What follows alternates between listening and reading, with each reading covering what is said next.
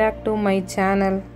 Friends, ಇವತ್ತು crispy maida ಹಾಲು ವಡೆ ಹೆಂಗೆ ಮಾಡೋದು ಅಂತ ಹೇಳ್ಕೊಡ್ತೀನಿ. ಫಸ್ಟು ಒಂದು ಬಾಣಲೆಯಲ್ಲಿ ಎಣ್ಣೆ ಹಾಕಿ ಒಂದು ಸೈಡಲ್ಲಿ ಇಟ್ಕೊಳ್ಳಿ.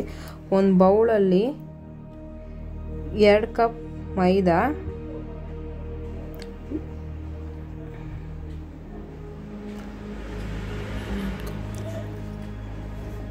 ಒಂದು ಕಪ್ಪು ಆಲೂಗಡ್ಡೆ ಬೇಯಿಸಿ, ಸಿಪ್ಪೆ ಬಿಡಿಸಿ, ನುಣ್ಣಗೆ ಮಸ್ತಿಟ್ಕೊಳ್ಳಿ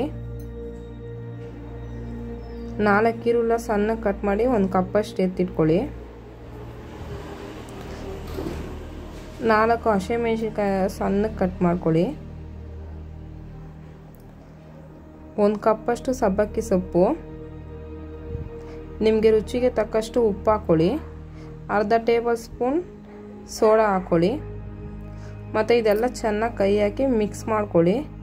ಮಿಕ್ಸ್ ಮಾಡ್ಕೊಂಡು ಆದಮೇಲೆ ನಿಮಗೆಷ್ಟು ನೀರು ಬೇಕೋ ವಡೆಗೆ ತಕ್ಕನಂಗೆ ಅಷ್ಟು ನೀರು ಹಾಕ್ಕೊಳ್ಳಿ ಹಾಕೊಂಬಿಟ್ಮೇಲೆ ಎಣ್ಣೆ ಬಿಸಿ ಆದಮೇಲೆ ಕೈಗೆ ವಡೆ ಶೇಪಲ್ಲಿ ತಟ್ಕೊಂಡು ಎಣ್ಣೆಲಿ ಹಾಕಿ ಡೀಪ್ ಫ್ರೈ ಮಾಡಿ. ಡೀಪ್ ಫ್ರೈ ಆದಮೇಲೆ crispy maida aloo vada ready. Friends thank you.